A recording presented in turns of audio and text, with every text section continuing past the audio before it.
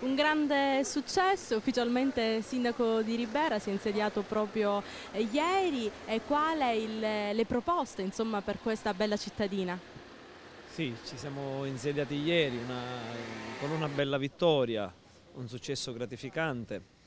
E da ieri siamo al lavoro per la città, una città bellissima, ma una città che ha bisogno di tantissime cose, una città che ha bisogno di svilupparsi sotto l'aspetto economico perché è un paese prevalentemente agricolo ma che si vuole affacciare anche con eh, sbocchi soprattutto sul turismo. È una città che ha bisogno soprattutto di uno sviluppo sociale e culturale. I buoni propositi sono questi.